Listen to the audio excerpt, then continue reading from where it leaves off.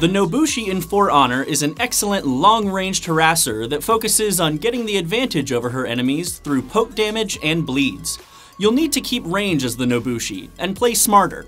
Keep your enemies at bay and focus on finding ways to force out bleed damage. You'll be frustrating your enemies to death, more or less. Always remember to use your revenge meter. Revenge boosts your damage and health. As a Nobushi, you're going to need to abuse the bonuses whenever possible. Revenge mode makes all your attacks uninterruptible as well, and attacks are auto-parried on activation, which basically makes you something to run away from. The revenge meter will save your life. If anyone gets close to you when you have a full gauge, immediately pop it and step back a few paces. It's a free escape from hyper-aggressive players that close the distance on you. You'll gain more feat resources playing objectives and killing enemies. Playing into your set role will garner you more resources to unlock them. In the first slot is Iron Lungs, unlocked at level 1, where you can still sprint when out of stamina. Speed Revive, unlocked at level 5, allows you to rapidly revive fallen teammates. Nobushi plays out sort of support-like, but not completely.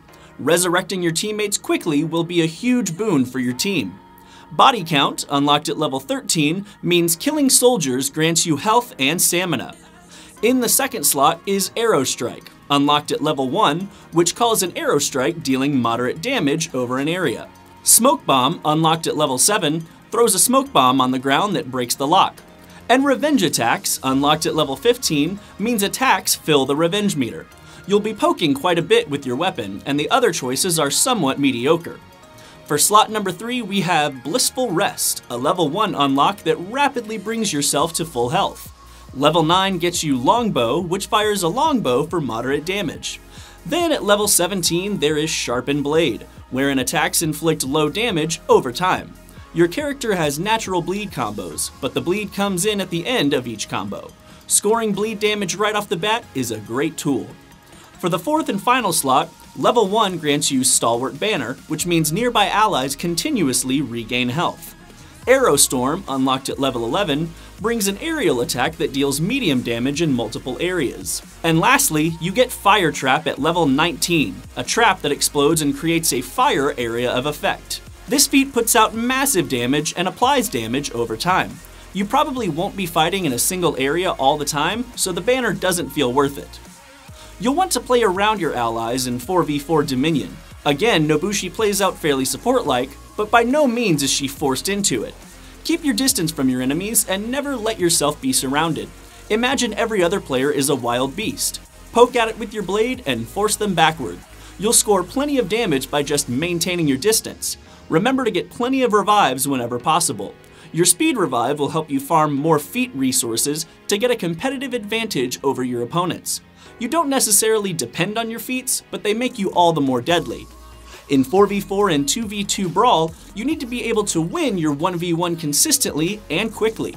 You can always outshine your opponent in a 1v1, however, if you're locked down to a 2v1, pray to God one of them is bad. You will be destroyed if the odds aren't in your favor. If you're in a 2v1, your best bet is to rely on your bleeds. Damage and move, damage and move. Stay the hell away from fours unless you're grouped with a team.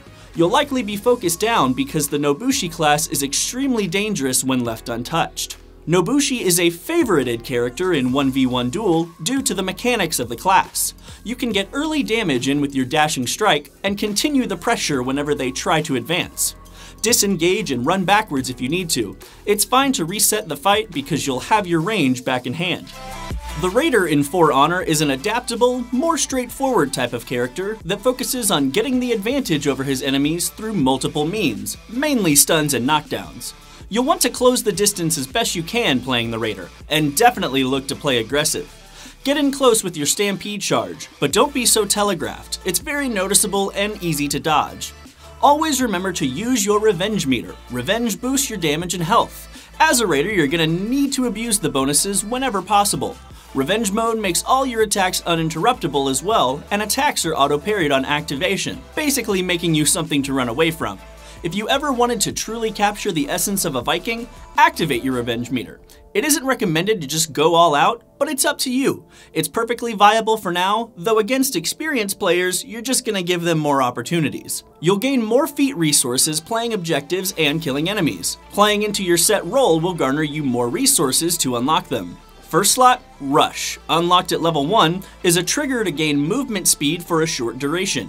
Enemies are bound to run. Chasing them down is tedious, so this feat is your solution. Tireless, unlocked at level 5, allows you to lose stamina at a slower rate. Body Count, unlocked at level 13, means killing soldiers grants you health and stamina. Slot number 2, Marked for Death, your level 1 unlock, reveals a target's position and lowers their attack and defense. This ability alone will increase team coordination ridiculously. Find a target and focus them down easily. Level 7 brings you Inspire, wherein allies deal more damage and soldiers fight faster. Last is Bear Trap, unlocked at level 15, which sets a trap that damages and stops victims in their tracks. The third slot starts off with Second Wind at level 1, which recovers some of your health. Fury, unlocked at level 9, raises sprint speed slightly, while your attack and defense are increased greatly. If you've ever wanted to be a monster on the battlefield, here's where you begin. This feat is the best option among the rest. At level 17, you get Battle Cry, which increases ally damage and makes enemy soldiers flee. In the fourth slot, level 1 gets you Fire Flask, wherein you throw a projectile creating a fire effect over an area. Stalwart Banner comes at level 11, granting nearby allies continuously regaining health. Last up is Slippery, unlocked at level 19, which you can activate to block all grab attempts for a while. Oddly enough, grabs don't come as often as you might think, so it's difficult to justify wasting a 4th level slot on this feat. What does a raider do in 4v4 Dominion? Raid in parties. Surround your opponents and hack away. Dealing with multiple enemies in For Honor is near impossible, so be sure to keep your surroundings in mind as the raider. There are so many ways to cheese another player by carrying them to the ledge and throwing them off. Rotate as much as you can between the objectives and help where you're needed. You can insta-give with the environment, but you aren't a solo god. You still need patience every now and again. Bait out attacks and punish. Four brawls and two brawls can get messy, but that's where you shine. Being able to dish out your damage with little resistance makes the Raider deadly in these modes.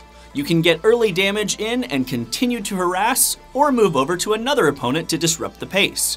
The Raider is very movement heavy in 1v1 fights. You have plenty of rushing moves you can utilize to close the distance and immediately disable your opponent. Make quick use of your stunning tap and drop in some cheeky damage here and there. The Warlord in For Honor is an aggressive character, which could also be played as a counter-attacker. He focuses on getting the advantage over his enemies through multiple, unblockable attacks, and has an uninterruptible heavy attack called the Head Splitter. His combos are extremely basic, but the opportunities will constantly present themselves. You'll score a few hits here and there. Focus on finding ways to use block and stab. Always remember to use your revenge meter. Revenge boosts your damage and health. As a warlord, you're going to need to abuse the bonuses whenever possible. Revenge mode makes all your attacks uninterruptible as well, and attacks are auto-parried on activation. Basically, you're something to run away from the Revenge Meter can be another option for you to counter enemy aggression. You'll gain more feat resources playing objectives and killing enemies. Playing into your set role will garner you more resources to unlock the feats. In the first slot, you have Speed Revive, unlocked at level 1, which allows you to rapid revive fallen teammates. Rush, unlocked at level 5, is a trigger to gain movement speed for a short duration. Then there's Deadly, unlocked at level 13, where your attacks deal more damage. Compared to the other feats, this one is a fairly easy choice. For your second slot, you have Bear Trap, unlocked at level 1, which sets a trap that damages and stops victims in their tracks. Juggernaut, unlocked at level 7, slows you down, but you gain high damage reduction. And Flesh Wound, unlocked at level 15, gains you moderate damage reduction. This feat is the better option as compared to Juggernaut. You don't want to set yourself up in a situation where you could possibly forget to even use it. In slot number 3, you start with Fury at level 1, which raises your sprint slightly and your attack and defense greatly. Tough as Nails, unlocked at level 9, raises max health when unlocked. This one is difficult because while gaining better attack and defense is enjoyable, getting beefier in a passive way makes you a mindless killing machine, which could be good in the right player's hands. Level 17 gets you Punch Through, which deals damage on blocked attacks. As for the fourth slot, Regenerate comes to you at level 1, which regenerates health when out of combat. Auto Revive, unlocked at level 11, revives you when dying without the help of another player. So yeah, it's the OP feat, Lastly is Fire Flask, a level 19 feat that throws a projectile, creating a fire effect over an area. 4v4 Dominion is not where the Warlord truly shines, but you're still viable here. You can easily solo cap the objective closer to the enemy spawn and hold it for some time.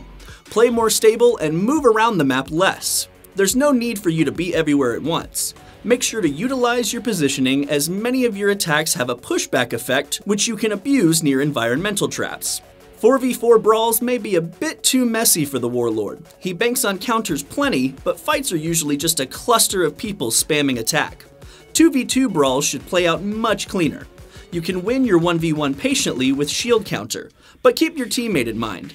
If they're losing, you need to speed things up you can attempt to get in cheeky early damage with the Head Splitter Leap, and then go straight back into counterattacking. Warlord masters 1v1 duel fights due to the nature of the character. Every enemy attack is an opportunity for you, similar to the Orochi, except you have a stun at your disposal. Get the block, score a hit or two, and repeat. Be sure to check out every other For Honor class guide on the PvP Live YouTube channel. You're watching esports on PvP Live.